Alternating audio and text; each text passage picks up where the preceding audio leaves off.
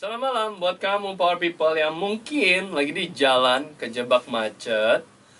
Bertahanlah karena ini akan seru banget ngomongin soal networking bersama salah satu narasumber kita ada Mbak Vivit Argarini, praktisi komunikasi. Selamat malam. Selamat malam lagi. Selamat malam lagi ya. Buat kamu yang baru gabung di Politik Inspiratif yang on top, selamat malam kamu yang dengerin lewat Medan. Di Palembang, Pekanbaru, Jakarta, Bandung, Indramayu, Yogyakarta, Semarang, Solo, Surabaya, Denpasar, Makassar, dan Banjarmasin. Dan saya mau ingetin dulu ya. Jadi kalau kamu mau nanya, banyak hal yang bisa ditanyain soal networking dan komunikasi langsung sama narasumbernya. Bisa WhatsApp di 089676 892 892. Sekali lagi di 089676 892 892. Dan saya mau nanya ke Mbak Vivit. Ya, Mbak Vivit, Ya. boleh cerita sedikit gak? Siapakah dirimu sebenarnya? siapa? siapa Siapakah ya? gitu? Biar biar kenal gitu. Pak People iya, pengen iya, tahu. iya, iya. Oke, terima kasih. Eh, siapa ya? Saya eh, individu yang senang belajar, Mm-mm. senang belajar tuh belajar dari orang lain ya. Karena saya merasa bahwa eh, saya punya hashtag, hashtagnya eh, hidup untuk saling menguatkan. Mm. Jadi yakin bahwa kita bisa kok eh, sama-sama belajar, kita bisa kok menjadi berkat buat orang lain, Mm.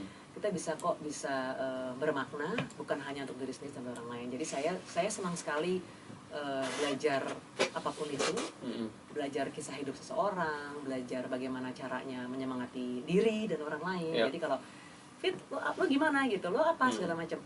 Eh, saya seneng gitu, seneng eh, seneng belajar, seneng berinteraksi, eh, seneng berhubungan dan belajar karena dari Hmm. berhubungan itu kan ada namanya intrapersonal, ada namanya interpersonal gitu Hmm. kan. Untuk melakukan interpersonal atau berhubungan dengan orang interpersonal communication, berinteraksi dengan orang lain, tentu kita eh, baiknya juga tahu kita nih gimana sih terus kita Hmm. gi- bagaimana dan seperti apa dan maunya apa gitu kan Hmm. jadi kalau tanya Pak Fit gimana saya eh, senang individu yang senang belajar mencoba mensyukuri eh, apa pun nikmat yang diberikan oleh sang maha pencipta gitu Hmm. kan terus eh, apa namanya kebetulan diberi kesempatan untuk lama berkarya di bidang media Mhm.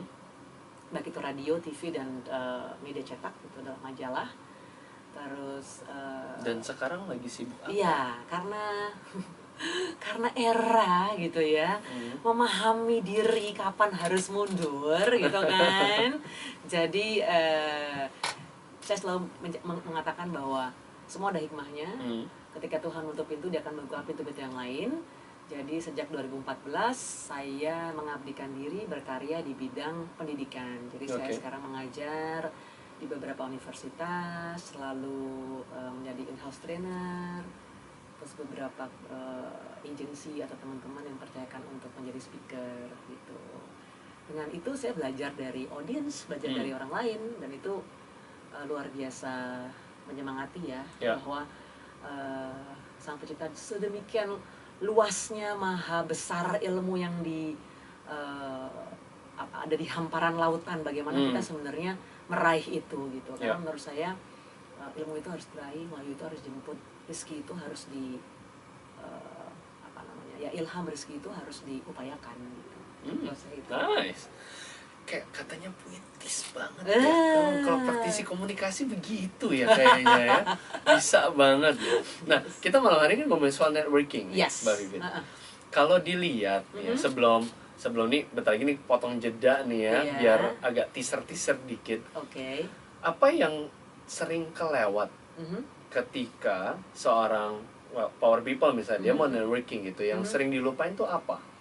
gini se- sering kali eh, bukan sering ada beberapa lah eh, Mhm. teman gitu ya fit ada undangan nih atau fit ada kegiatan ini itu segala macam tapi aduh undangannya cuma satu orang nih kan invitation misalnya Mhm. eh, undangan berlaku hanya satu orang atau kan eh, eh, hanya eh, for one person only gitu kan Betul. aduh gue request bisa nggak ya buat dua orang atau lebih dari dua gitu sedangkan Hmm. kan yang mengadakan acara kan sudah memastikan oh hanya satu Ya. oh hanya dua gitu nah bagaimana caranya bahwa kita berani dalam arti pede aja sama diri sendiri Mhm. bahwa di sana pun kita akan memperluas jejaring kita gitu. Ah, itu yang sering kali saya uh, dapat. Gimana ya mbak kalau misalnya dapat undangan atau dapat kegiatan yang memang itu aku pengen banget gitu tapi kayaknya aduh nanti sampai sana nggak kenal. Iya. atau kalau sudah sampai sana terus gimana ya malu. Ya aduh deh di pojok aja deh gitu. Atau enggak eh, ketemunya sama dia lagi dia lagi gitu Iya. kan. Nah sebenarnya ada tips dan triksnya Tapi jangan disebut Oh, sekarang. Oke, oke. Jangan disebut sekarang. Save it ya later. Oke,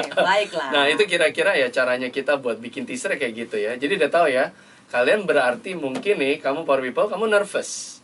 Begitu dapat undangan cuma satu, aduh, mendingan gak usah pergi deh. Nah, jangan, jangan, jangan, jangan. Kita kasih tahu abis ini, Mbak Vivit akan jawab. Jadi jangan ke mana-mana, power people tetap di Power Talk Inspira with yang on top.